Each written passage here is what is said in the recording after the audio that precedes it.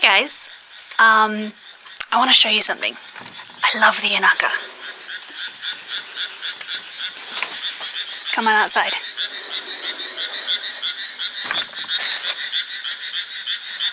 Did you hear that?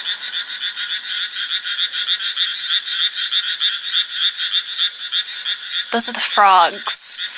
Um, they just started planting rice here about a month ago, and with the rice paddies comes the frogs, and they croak all night, they sing all night, and I love going to bed listening to those frogs. They're incredible. Um, frogs on kimono, it's not really a popular motif. Um, mainly because a lot of the motifs that you see are flowers or animals that the nobility had access to in their gardens. Um, frogs are definitely more of a countryside or inaka animal. The farmers would be really used to them, but not the nobility.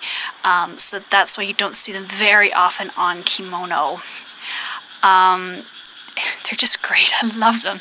They're so cute. They're they're they're not big frogs. They're just like you know centimeter and a half long.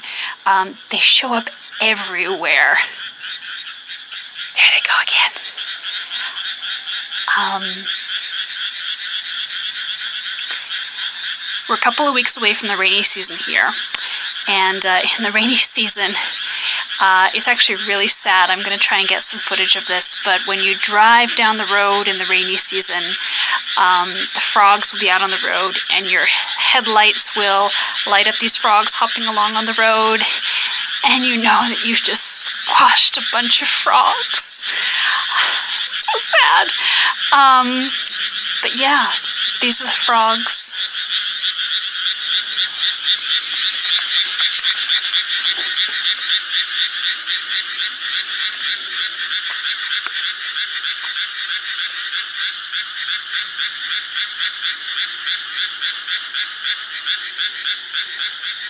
We've got a gorgeous moon.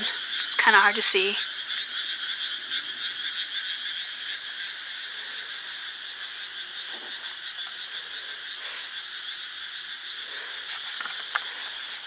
When they're really loud, those are the frogs that are in the rice field right beside our apartment. Um, when they're a little quieter, they're in the rice fields a little more that away. Um, so it's a little quiet right now. On, frogs. Start singing. I want to hear you. I've already found frog uh, on the side of the building this year. Sometimes they'll show up on my car or on the side of the building or on the doors. Um, they just they show up everywhere. They're so cute. Um, I think they're cute. Um, actually, though, you know, on the on the list of you know animals that most people, not all people, most people find scary. Normally, you find snakes or spiders or something like that on the list. Frogs tend to make it onto the list in Japan. I don't know why. Um, I think they're adorable, but I have met many, many Japanese girls, again, not all, but a lot of them who say they are afraid of frogs. Um, I'm not. I love them. And there, there they go again.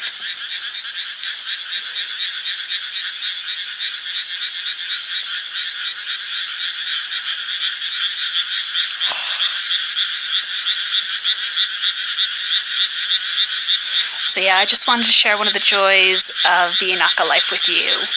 So yeah, bye.